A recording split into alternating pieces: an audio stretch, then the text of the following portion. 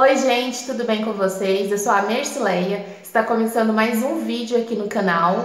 Se você não é inscrito, já se inscreva, deixe seu like, compartilhe o canal, né, para ajudar o canal a crescer. Gostaria de agradecer também aos novos inscritos, né, que se inscreveram no canal. Muito obrigada, pessoal. Fiquem conosco até o final do vídeo, porque no vídeo de hoje eu vou dar dicas para vocês, né, que vão vir para Portugal, que já está com tudo preparado para vir para Portugal. É, você que ainda está pensando se vem para Portugal ou não, quando você estiver vindo, você pode seguir essas dicas, tá bom? E vamos pro vídeo. Bom, pessoal, a primeira dica que eu tenho para passar para vocês é para você que ainda não comprou a passagem, né? Se você está pensando em vir para Portugal, né, não sabe quando, ou já sabe quando, né, eu aconselho a vocês a comprarem a passagem três meses de antecedência por quê? Porque você vai ter um desconto enorme. Quando você compra a passagem com três meses antes, a passagem sai muito mais barata. Nós, por exemplo, compramos a passagem de nós três, né? Eu, meu marido e meu filho, três meses antes. Compramos para dezembro. É, e assim, pagamos 7.516, né? A passagem e de volta, seguro viagem e a hospedagem no hostel. Saiu por esse preço. E é, a minha cunhada, né, tinha pesquisado a passagem só para ela, né, para o mês de dezembro, só que ela pesquisou já no mês de dezembro. E assim, tava 9 mil reais. Ou seja, para nós três ficou 7 mil, porque compramos com três meses de antecedência. E para ela que pesquisou já pro mesmo mês, tava cara. E era só ela. Então, assim, é muito importante vocês comprarem a passagem com no mínimo três meses de antecedência. Outra dica que eu tenho para falar para vocês é vocês que já chegaram aqui em Portugal, vamos supor, você chegou hoje, né? Seja no aeroporto de Lisboa, aeroporto do Porto. É, quando você chega, né, a primeira coisa que você quer fazer é ligar para a família, né, avisar que você chegou bem, é, você precisa de uma internet, né, para se locomover. Então, o que que eu aconselho, né? Nossa experiência foi, quando chegamos, né, precisávamos de um chip, né, para o telemóvel e de início, quando já chegamos, a gente foi assim: ah, vamos comprar o primeiro que aparecer, né? Que a gente não tinha informação, né? Então a gente foi aonde? Fomos na Vodafone. Pessoal, pra, compramos um chip, né? Que ele tinha 5 GB de internet, 30 minutos para ligação para o Brasil e mil minutos para ligação aqui em Portugal. Tinha esses benefícios. Sabe quanto que me custou o chip? Só o chip de telemóvel, porque não vinha agregado com nenhum produto? Me custou 20 euros. Isso mesmo, eu paguei 20 euros no chip da Vodafone, é, só o chip. Então, assim, foi muito caro, né? E eu queria comprar dois ainda, né? Porque eu tava desesperada para avisar pra minha família que já tinha chegado, tinha ocorrido tudo bem.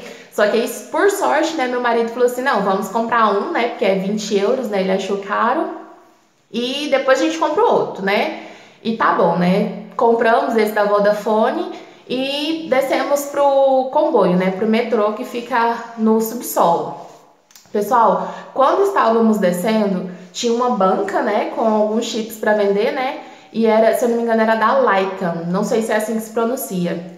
Aí eu, por curiosidade, né, fui lá perguntar o preço. Pessoal, tinha, os benefícios eram 4 GB de internet, os mesmos 30 minutos de ligação para o Brasil e os mesmos mil minutos para ligação aqui em Portugal. Sabe quanto?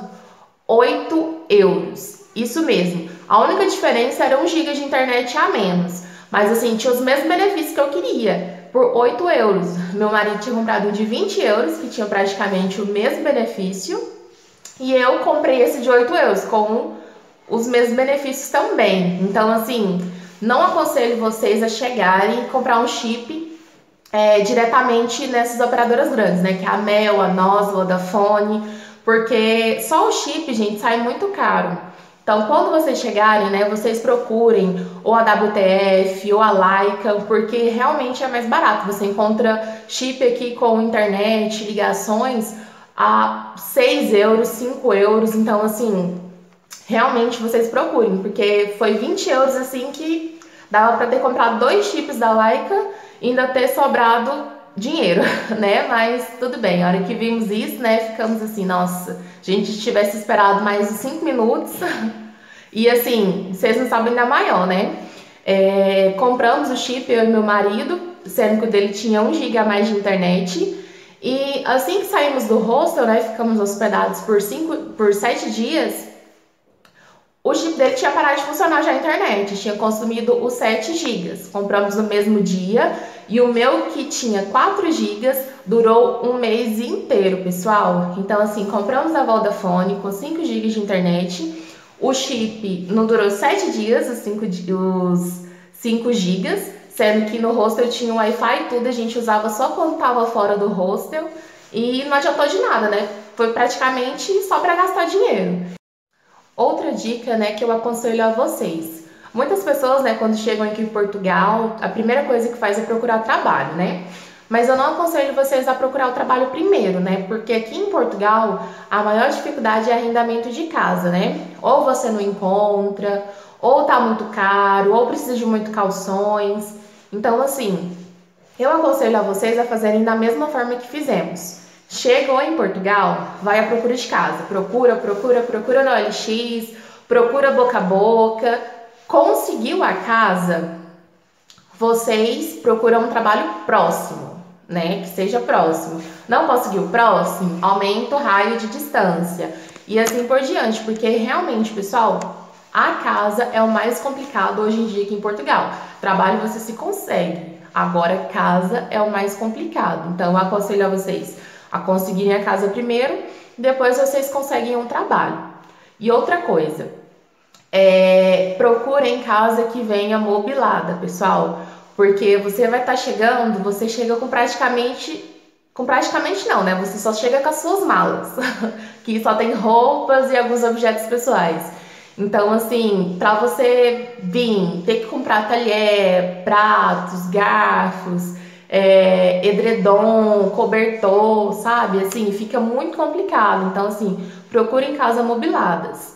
Dando essa dica para vocês, né? Mas como vocês sabem, arrendamos uma casa que não era mobilada. E assim, é complicado, né? Mas caso vocês não consigam arrendar uma já mobilada, vocês arrendam uma sem mobila, né? E podem recorrer ao Facebook. No Facebook, né, tem muitos grupos, né, de brasileiros aqui em Portugal e tem grupos de doações, né, que as pessoas doam, né, os portugueses ou brasileiros que já estão aqui doam muita coisa, pessoal.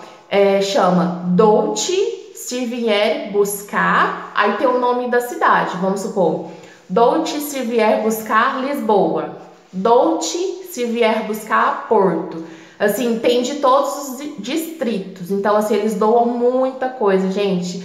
É cama, é guarda-roupa, é sofá. Tava doando até portátil, né? Que portátil aqui em Portugal é netbook, notebook. Então, assim, realmente ajuda muito. Procura com mobila. Se não tiver, você aluga sem mobila e procura nesses grupos de doações, né? Que ajudam muito. Você vai ter que comprar algumas coisas, né? mas muitas coisas você consegue ganhar também. Outra dica, pessoal, é se você estiver vindo para Portugal no inverno, dezembro, janeiro ou fevereiro. Pessoal, não venham para Portugal no inverno sem comprar aquecedor. Chegou, compra aquecedor. Não fica naquela, ah, eu cheguei, tô cansada, não vou comprar hoje, vou comprar outro dia.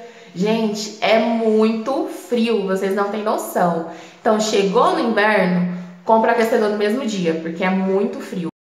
Outra coisa muito importante, se você vier para o interior, é comprar um carro, pessoal. Não tem como ficar no interior sem carro. Você precisa de carro para tudo, para ir para o trabalho. Eu dei sorte que é próximo, então eu vou caminhando.